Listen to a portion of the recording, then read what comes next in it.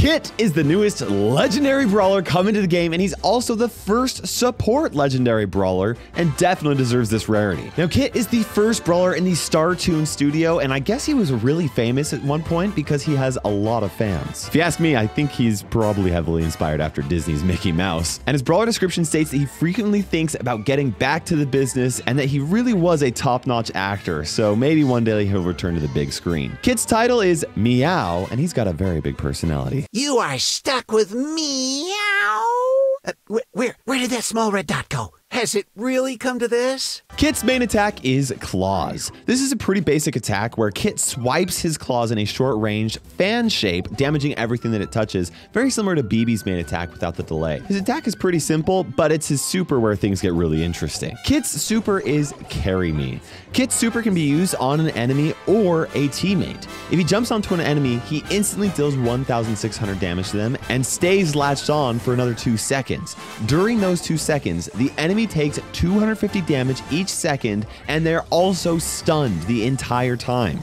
Now, if he latches onto one of his teammates, he'll heal them for 600 HP every second that he's on them.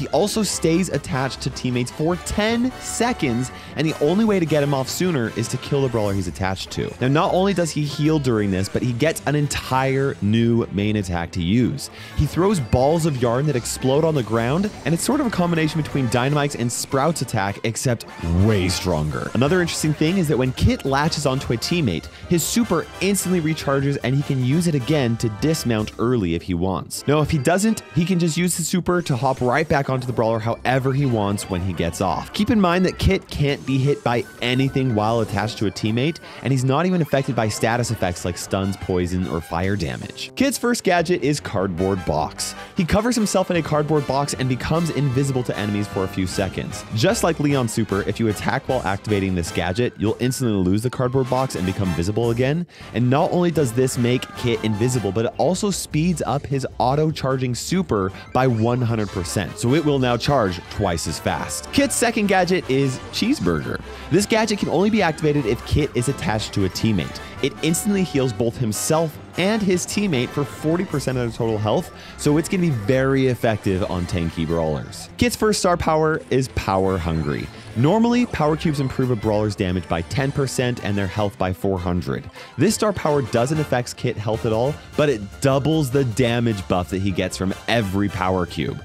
For example, if he has 10 power cubes, instead of dealing double his normal damage, he deals triple his normal damage. Now, this star power is useless in a lot of the 3v3 game modes, but it's broken in Showdown, and you can even use it during Mega Pig to give your team a massive advantage. Kit's second star power is Overly Attached. When Kit latches onto one of his teammates, this star power will keep him latched for 5 extra seconds, which is 15 total seconds. Now, keep in mind that that's an extra 5 seconds of heals, which is actually kind of a lot from Kit.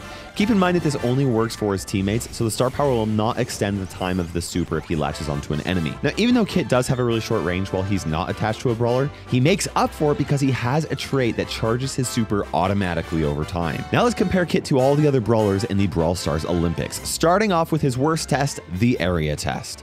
Kit doesn't have a teammate to latch onto in this test, so he has to rely on his main attack since his gadgets don't deal any damage either. He breaks 14 total skulls, which puts him in 76th place, or dead last. Honestly, this is not a great representation of how well Kit is going to be at dealing damage in an area, because when he is attached to another brawler, he's actually quite good. Next is the 1 second DPS test. Now, since the only place to measure this test is the training cave, Kit does not get any help from his super, but he's at least able to unload 3 of his ammo within 1 second, so he deals 4,800 damage and gets 70th place. Next is the boss test. I'm sorry, I gotta show all these ones where he's not very good, but unfortunately, the boss test can only be done in the training cave where Kit cannot use his super at all. But his reload speed is honestly one of the fastest in the game, so he still manages to beat a few brawlers with only his main attack. Kit defeats the boss in 1 minute 7 seconds, and that puts him in 63rd place. And once again, is not a good representation of how much damage Kit can do over the course of an entire match. Next, we have the survival test. Now, if brawlers were allowed to avoid shots in this test, Kit could have bought some time by using his cardboard box gadget. But he just has his 6,000 health to depend on and nothing else. He survives for 15.2 seconds and ties with Mico and Ruffs for 60th place. Next is the attack range test. With Kit's regular attack, he's only able to reach across 3 and 1 3 tiles, but his yarn bombs go much further. I measured as accurately as I could outside the training area, and it looks like he throws them 7 tiles away and they have a blast radius of 1 and 1 3 tiles. That reaches 8 and 1 3 tiles in total, so Kit ties with Maisie, Janet, Max, Gale, and Dynamike for 45th place. I mentioned Dynamike because their attacks are very similar. Next is the supercharge test, and this was a little tough to measure since Kit's super is always charging a little bit automatically. I also used his cardboard box gadget after the first three shots since it increases his supercharging rate. But Kit's reload speed is so fast that it basically doesn't make a difference. Kit charges his super in 2.5 seconds and he ties with Ruffs and Bea for 46th place. Next is the super range test. Now Kit can leap 6 and 1 third tiles across with his super, but the super actually has a radius of 2 and 2 third tiles, so he doesn't have to land directly on a target for a super to work, which is good because that would be very difficult to land. That is 9 tiles in total, so Kit ties with Amber, Sam, Otis, and Charlie for 44th place. Next is the assassin test. Kit unloads 3 quick yarn bombs, but he actually doesn't have any time to reload a fourth in those 3 seconds. Instead, he uses his super to hop off his teammate so that his reload speed gets way faster and he's able to get one swipe in for some extra damage. Kit deals 13,600 damage in total, which puts him in 35th place. Next is the super damage test. If Kit pounces on an enemy, he'll immediately deal 1,600 damage and then 250 damage per second for the next two seconds. That adds up to 2,100 damage in total, so Kit ties with Sam and Ash for 34th place. Next, we have the test where Kit is better than over half of the brawlers in, starting off with the auto aim test. Now, Kit's regular attack hits targets instantly as long as they are within range, and his yarn bombs don't even come close to that distance since he throws them up too high. He hits Nita from 5 tiles away and deals 1,600 damage, so he gets 26th place. Next, we have the splash test, and there aren't very many situations where Kit's first star power comes in handy, but the splash test is one of them. Kit's able to hit most of the boxes with his attack, and after he breaks them open, he's so strong that he only needs one ammo to break the rest.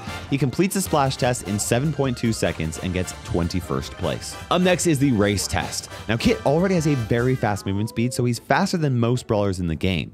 He can also use his super to leap forward and get a head start even though he doesn't hit anything with it. Kit crosses the finish line in 9.1 seconds, and that puts him in 17th place. Next, we have the three attack kill test. Now, Kit's regular attack damage is 1,600, but his yarn bombs deal 4,000 damage each. So three of them adds up to 12,000 damage, which is enough to take out every brawler in the game except for Frank. So Kit ties with Bull for this test in 13th place. Next is the swarm test, and Kit stays in the middle of the swarm so he can take out one corner at a time. He deals enough damage to one of the bots to take it out in a single hit, so it only requires four ammo to destroy all of them.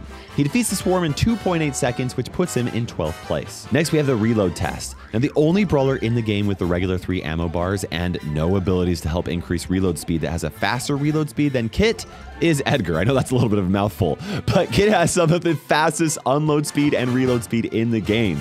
He reloads 10 shots in 11.1 seconds, which puts him in 8th place. But his best test is the box test. Even though Kit can only use his main attack in this test, it's able to hit every box in the group at the same time. Not only that, but this is another one of the few tests where his first star power actually helps out quite a bit.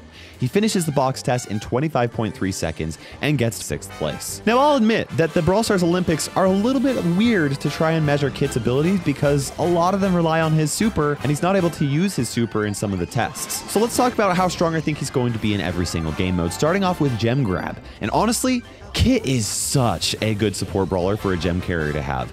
Not only does he continue to heal them, but if the gem carrier goes down, Kit's gonna be right there to swoop up all the gems and then super away with them. His super is even great for offense because if he latches onto an enemy gem carrier, they'll be completely stunned for a couple seconds, which makes for a very easy kill for his teammates easily an S tier brawler for Gem Grab. And honestly, I think he's an S tier brawler for Brawl Ball as well. Aside from Kit just being extremely powerful overall, he gets even more use out out of his versatile super by using it to just shoot the ball forward and then super up to it for sneaky goals, right? The stun for a super is going to be good on defense as well, since the enemy has to drop the ball while Kit is latched onto them.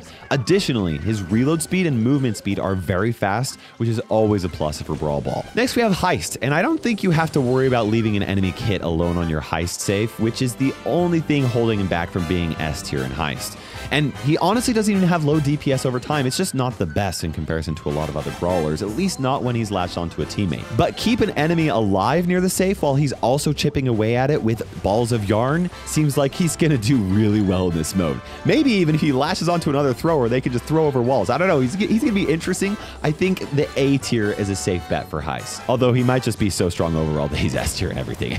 Next, we have Wipeout though. And the only reason why I'm not putting Kit in the S tier for this mode is because I feel like if the enemy is able to kill the brawler that Kit is attached to, they're also probably in a good position to take Kit out right after since he has such a short range. Also, his super makes for an easy kill on an enemy, but it also leaves him vulnerable in enemy territory. That being said, he's just too strong of a brawler to be anything less of A tier for 3v3 modes, so I think the A tier at least makes sense. Next, we have the hot zone, and latching onto tanky brawlers inside the hot zone is going to be a big problem for the enemy team. And being able to throw such strong attacks will make it easy to regain control of the zone and get enemies out of it. He's definitely an S tier for Hot Zone as well. And honestly, I'm going to go with S tier for Knockout. This game mode might have been a problem for Kit if his super didn't charge automatically, but since it does, he just needs to survive for a bit and then keep attaching himself to teammates in order to keep them alive and have the range to compete with other popular knockout brawlers. Even when the smoke pushes everyone close together, you're basically giving your teammate an extra life and I think Kit's going to come out on top in a lot of those situations, which is why S tier really is justified. Now we have Solo Showdown, and this is certainly going to be Kit's worst mode since he won't have teammates to latch onto. However, to make up for it, his first star power can be used to give him additional damage with each power cube he picks up. His star power paired with his super actually turns him into quite the assassin, and I haven't even mentioned his cardboard box gadget that's going to make him a great assassin in every mode.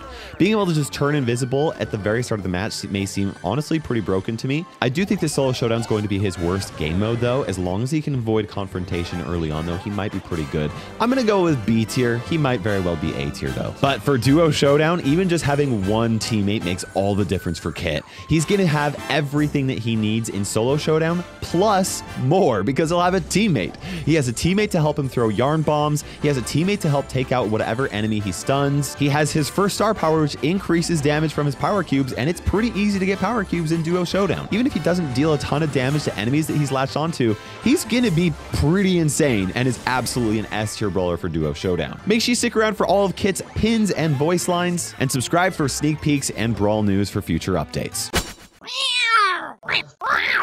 what a catastrophe. Catastrophic. Gonna start running out of lives. Ah, finally some rest. Was this ever fun? Back to the internet. Uh, gotta go lick myself. Now it's personal. But I'm a cat. Meow. Meow. You aren't kidding around, are you? Claws are out. Free facelift. Crying cat face. Mark my claws. You'll remember this moment. Now it's my turn. Ah. Perfect. You are gonna cry, aren't you? Cat's got your tongue? Yes, I have. You've got a face for failure. Smartphones, stupid people. Feline good. Making everyone else look good. Well done. You aimed low and managed to miss the mark. Have waited all my nine lives for this moment. I'm a cat.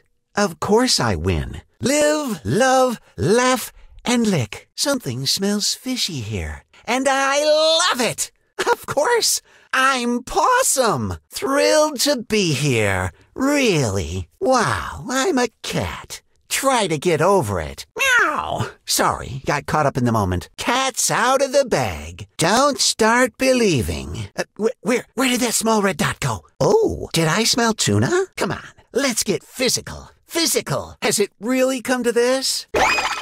Feline frenzy! Pounce, flounce, and bounce! Friends forever! You are stuck with meow! Claws of love!